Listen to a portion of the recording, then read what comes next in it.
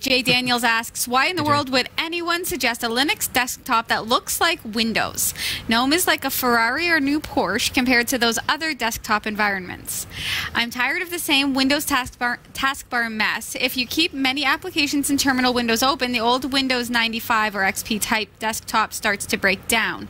Navigating some of those menus on a touchpad is sort of tricky too. It worked fine with trackpoint or mouse, but not on those new laptops. I see. It, on my touchscreen, I like the interface of like the big buttons and things Right. like that. Even could go as far as saying that single touch to open things makes a little more sense. But Mm-hmm. on my computer, personally, I'm old school, I know, but I like the way Cinnamon operates because it does feel wi- Familiar? Windows esque. Yeah, familiar, Familiar. is really what it's about. But it's the paradigm. It's that's what I'm used to. That's what I grew up with. That's what I learned on. And so, it, if I'm going to use a GUI at all, I, I I like that. I prefer it. I can find things. I know where they are. So that's me. Why would someone recommend it? Why would someone promote it? Hmm. and I think that boils down to kind of the exact flip side of that, where we live in a Windows world That's right. It's true. plain and simple. Okay, we hate to admit it, us Linux fans, but it's true. Uh, most people, if you ask them what operating system their computer has, they're going to say Microsoft Windows.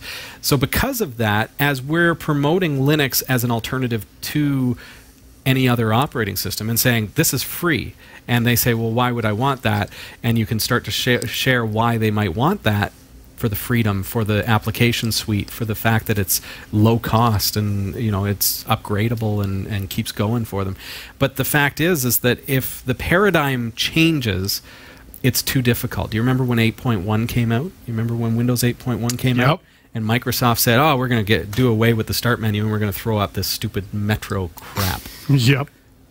Still what happened? that to me. Backlash, right? So if I present to you Linux and I say, try this, you got to try it, it's awesome, and the paradigm is completely different, then I, as a user, or the, the user that you're trying to promote it to, is going to have a real hard time getting their head around it, and it just makes it uncomfortable and makes them want to go back. Mm-hmm. So if I can make it feel a little more comfortable for them, then they're more likely to get into it. They're more likely to try it out, learn how it works, and then get to the point where now they're no longer a noob, they're no longer a novice user. They can start playing around and trying the other things. True. See, That's when it gets exciting. And for myself, from a practical standpoint, uh, my kids, I'm trying to get mm-hmm. them into Linux because they've been dealing with Windows through the computers at school. Sure.